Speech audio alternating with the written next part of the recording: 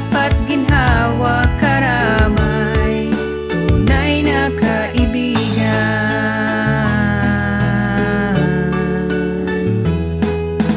Tunay na kaibigan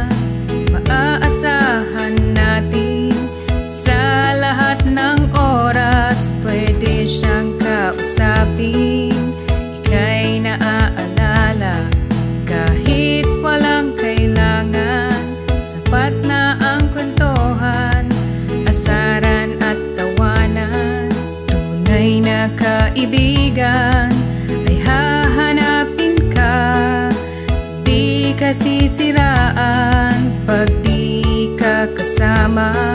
Minsan di maiwasan ang mga tampuhan.